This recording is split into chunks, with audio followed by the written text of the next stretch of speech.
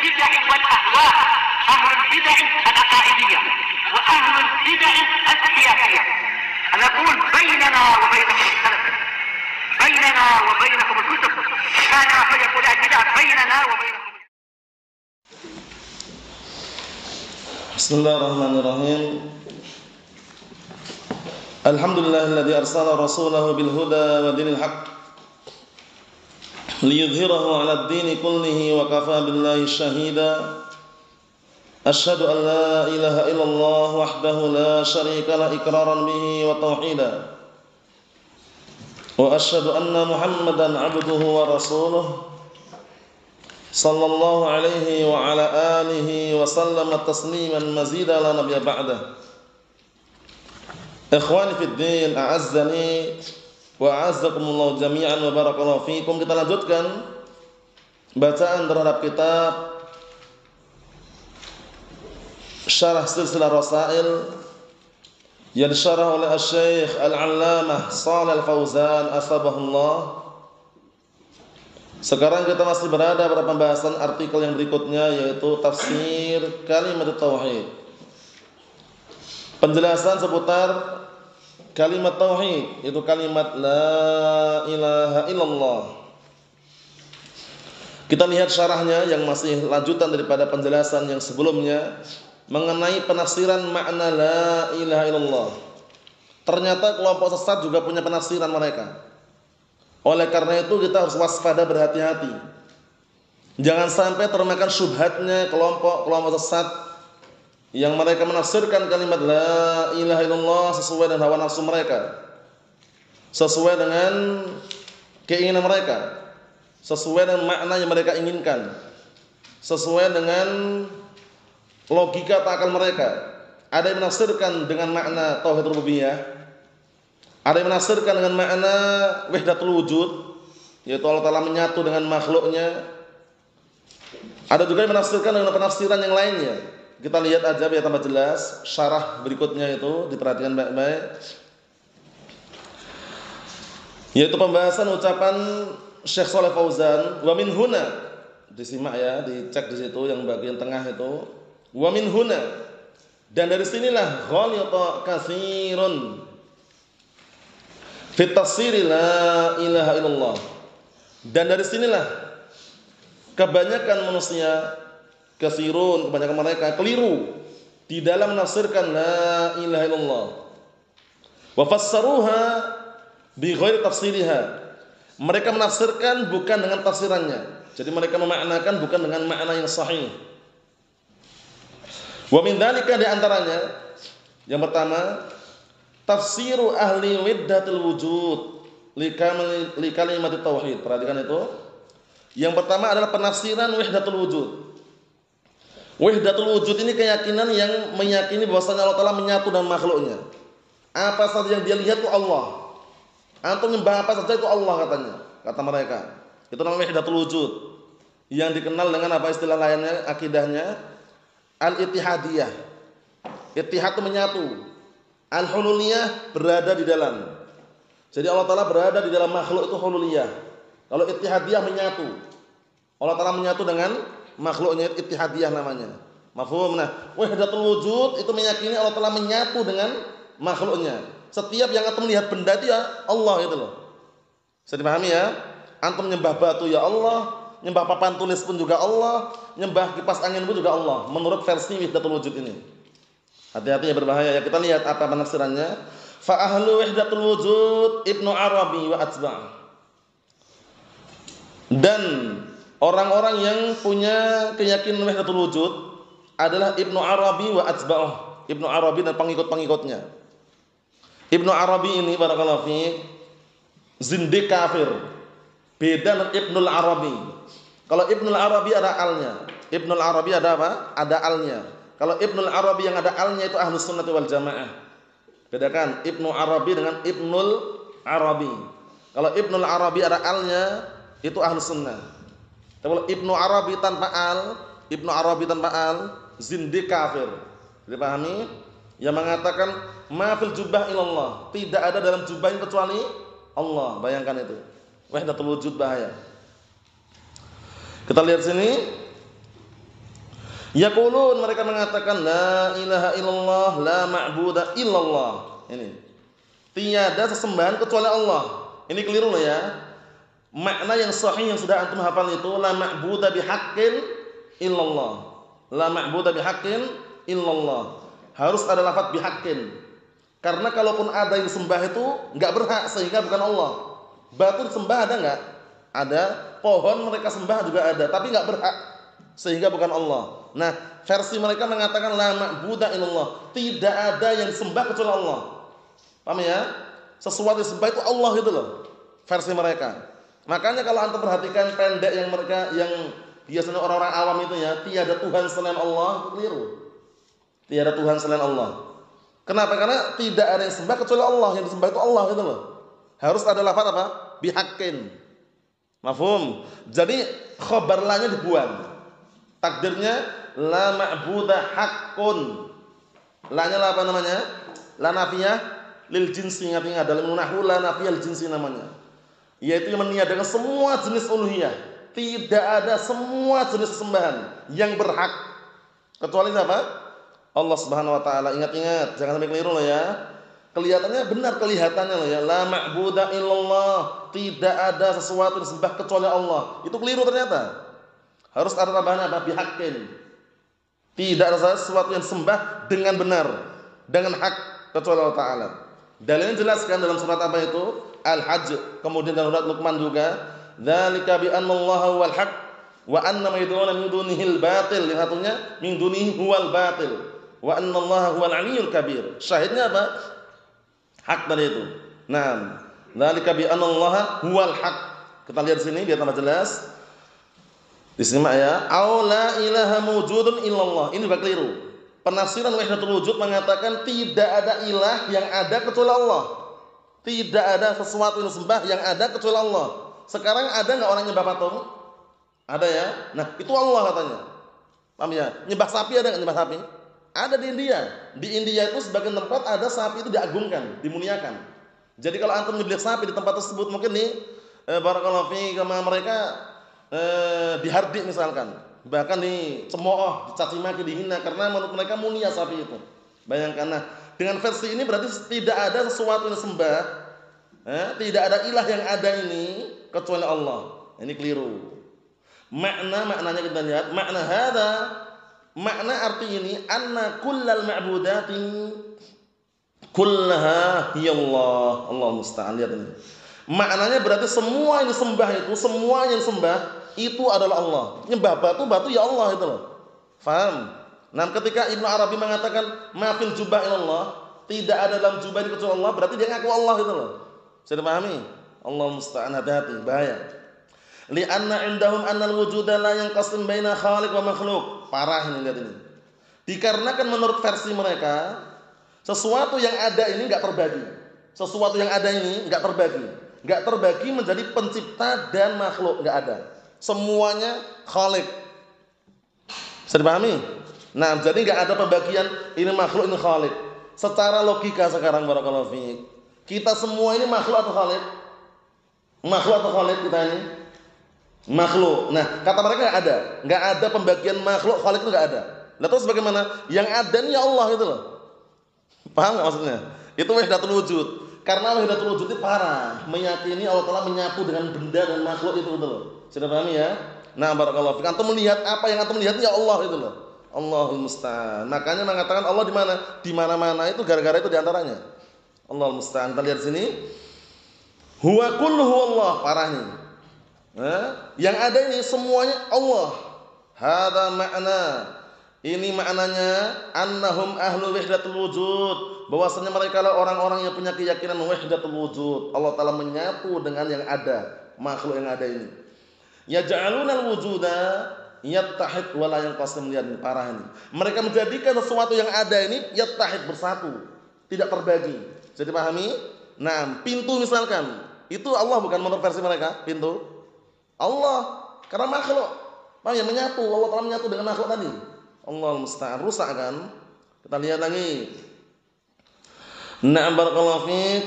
Hada makna annahum ahlu wahdatul wujud yaj'aluna al-wujuda yattahid wa la yanqasim kulluhu huwallah. Mereka semuanya membagi. Ya Yaj'alun mereka membagi yang ada ini bersatu dengan makhluknya, tidak terbagi. Semuanya adalah Allah. Mahma abadal insan ya ini. Mahma abadal insanu min syai' fa innahu qad abadallah. Nah, kata beliau Syekh Saleh Fauzan bagus sekali penjelasan ini. Mahma kapan pun seorang itu menyembah sesuatu, maka dia sudah menyembah Allah. Nyembah batu, batu itu Allah katanya. Paham ya? Sapi, sapi ya Allah. Nyembah kerbau, kerbau ya Allah versi mereka. Parah nggak ini Emron? Parah. Rusak nggak? Rusak itu akidah yang berbahaya. Kita lihat sini. Lihat itu. Aladhi abadal bakor. Orang yang sapi atau lembu. Waladhi abadal sanam. Orang yang nyembah sonam, berhala. Waladhi abadal hajar. Dan orang yang nyembah batu walladzi abadal bashar. Dan orang yang nyembah manusia walladzi abadal malaikah. Dan orang yang nyembah malaikat kulluhum ya'budunallah. Mereka semuanya itu nyembah Allah katanya. Bayangkan itu parah kan? Mereka semuanya nyembah Allah katanya. Parah memang nah jadi ini keadaannya seperti itu. Wahdatul wujud parah. Meyakini keyakinan seperti itu. Jadi semua yang ada ini Allah katanya. Semua yang ada ini adalah apa? Adalah Allah. Allah musta'an kita lihat sini Parahnya di situ. Li'annallaha huwal wujudul mutlak. Lihat ini. Dikarenakan Allah itu adalah wujud mutlak, sesuatu yang ada ini secara mutlak. Mutlak itu sempurna. Sesuatu yang ada yang sempurna semuanya yang ada ini Allah gitu, kata mereka. Versi mereka seperti itu. Allah musta'an. Mafhum? Ini rusak atau tidak ini? Rusak atau tidak? Rusak. Parah ini. Paham ya? Nah, jadi orang yang seperti ini berbahaya sekali karena meyakini yang ada itu semua Allah. Nanti melihat temannya sendiri pun Allah gitu loh. Ya kan? Nyembah manusia Allah katanya. Eh? Nyembah binatang Allah juga. Nah, bayangkan itu. Pertanyaannya sekarang, apa bedanya sonam dengan wasan? Ya kita lewati dulu. Karena dalam artikel kadang kan ini para penyembah wasan para penyembah sonam. Ya bedanya apa sonamun dengan wasanun? Eh, siapa yang ingat? Ingat gak Esan? Mana yang umum, mana yang khusus? Hmm? Sonam lebih umum. Lah kalau wasan? Jangan terbalik.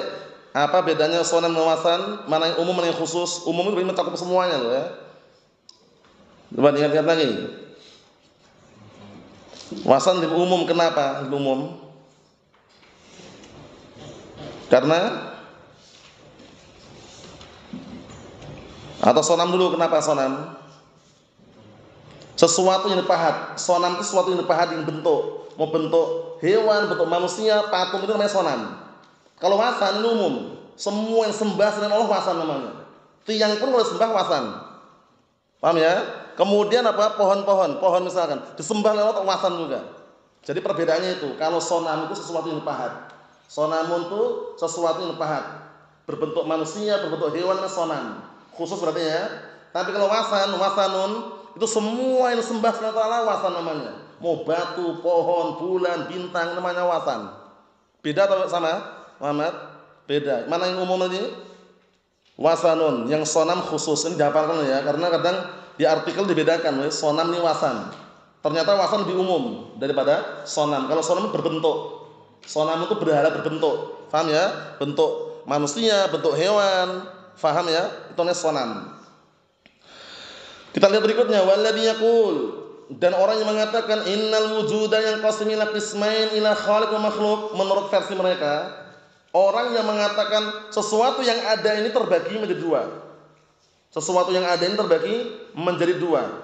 Khaliq pencipta wa makhluk dan makhluk. Nah, kata mereka seperti ini, yaqulun mereka mengatakan anhu tentang orang tersebut inna hadza musyrik katanya. Ini orang musyrik katanya. Jadi yang mengatakan di alam semesta ini ada ada Khalik ada makhluk, Khalik itu Allah Taala, makhluk itu makhluk diciptakan, katanya musyrik itu.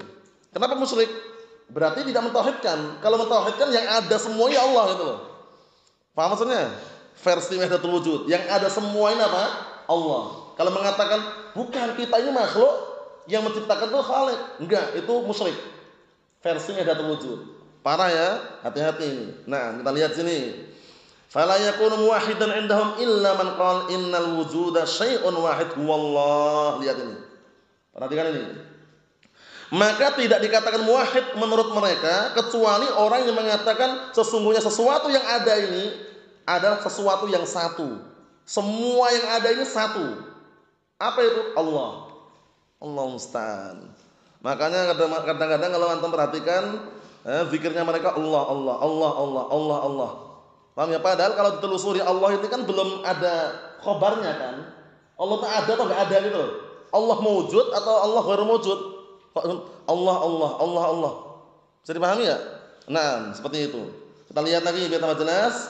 Famahma abatta min hadal kaun min asjarin au ahjarin au asnamin au tawaghit fa innaka ta'budullah. Lihat ini Allah musta'an.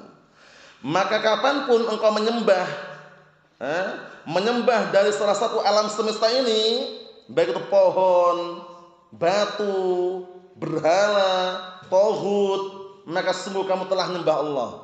Paham ya? Nyembah kucing pun nyembah Allah kata mereka. Allahul musta'an, rusak. Lianna hadha huwa Allah, dikarenakan alam semesta ini adalah Allah katanya. Wa munasabah, maka dengan kecocokan seperti ini, kesesuaian seperti ini, fa innahu yaghlitu ba'dul awam. Maka sungguh telah keliru sebagian orang awam. Yaqul mengatakan apa sebagian orang awam? wala ma'budu siwa. Tidak ada sembahan kecuali engkau. Tidak ada sembahan kecuali engkau. Ini masih keliru loh ya. Karena apa? Tidak ada sembahan kecuali engkau, berarti masih ada sembahan yang lain itu loh. Harus ada tambahan apa? Bihaqqin. Tidak ada sembahan yang berhak untuk sembah kecuali engkau ya Allah. Baru, baru benar. Bisa dipahami? Kalaupun ada orang nyembah patung itu enggak berhak. Orang nyembah pohon itu enggak berhak. Pohon tadi. Orang nyembah batu, batu nggak berhak diibadahi. Berarti bukan Allah. Bisa dipahami soalnya ya? Ayo kita ambil dikit lagi perhatikan. Walakin law qala la ma'budu bihaqqin siwa akan tapi kalau mengatakan tidak ada yang disembah dengan hak siwa kecuali engkau. Nah, barakallahu fiik. Wa hadha yuwafiqu qaul ahli wahdatul wujud falau zada kalimatun haqqin sah. Sahih lihat ini.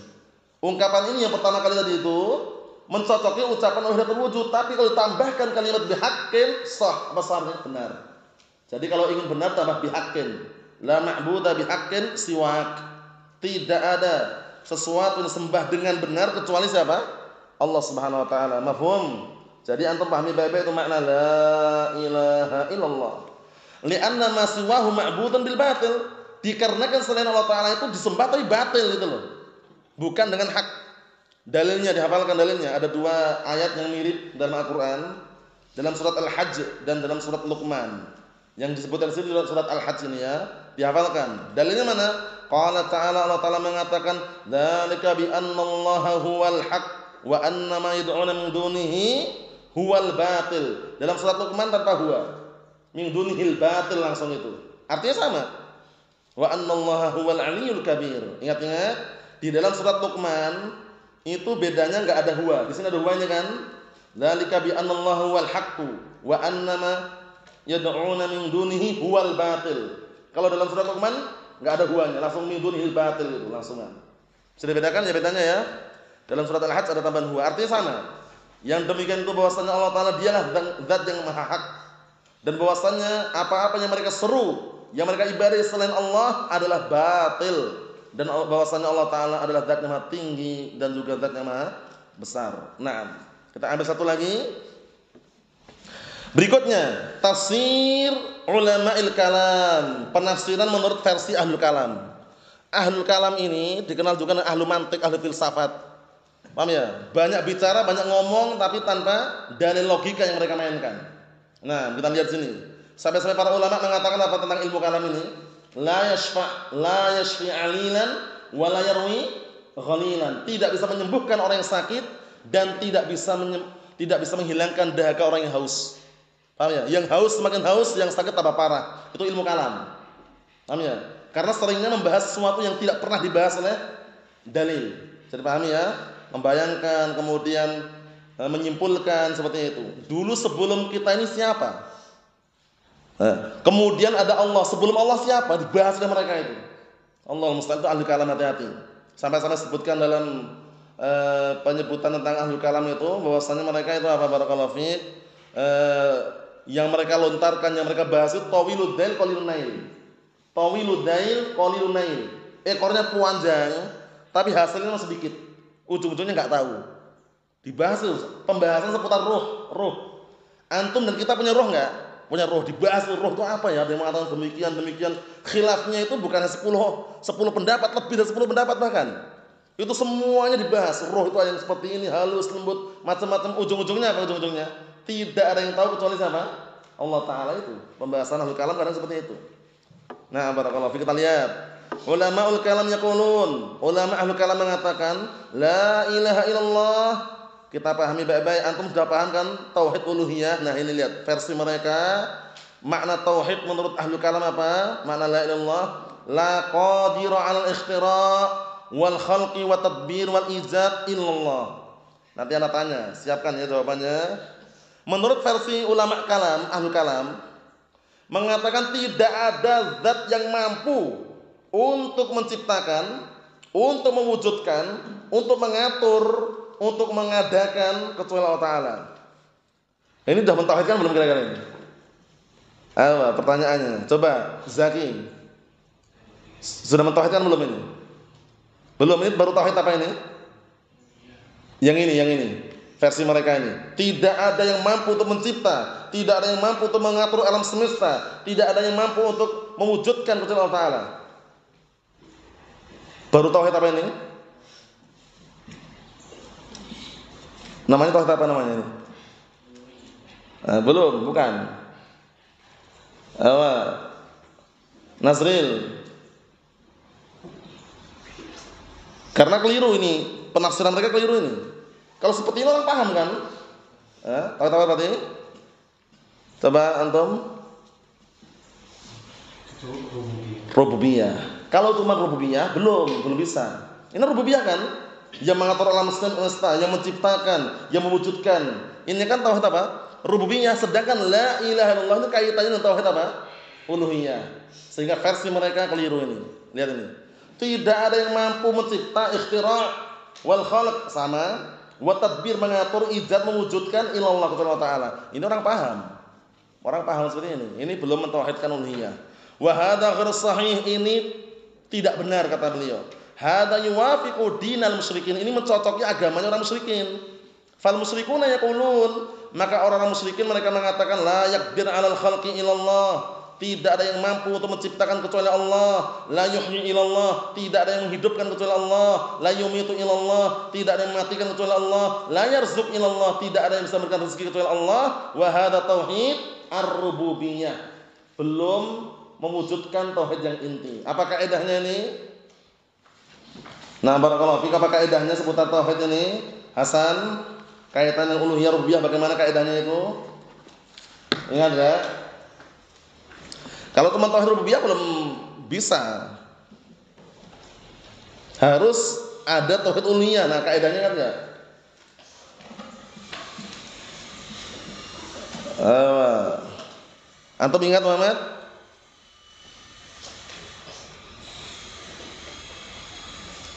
Ingat enggak? Eh, coba yang ingat siapa? Abdullah. Sering diulang-ulang ini kan? Kalau mentauhid rububiyah saja cukup enggak? Harus uluhiyah kan? Atau kaidahnya apa kaidahnya? Ingat enggak? Belum. Lepas lepas. Sebutkan san. Sering san. Hah? Apa? Apa?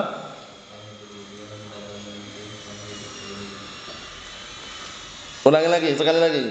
Jangan terbalik. Tauhid.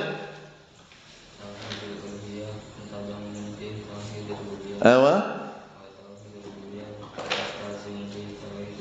Naam. Itu kaidahnya apa?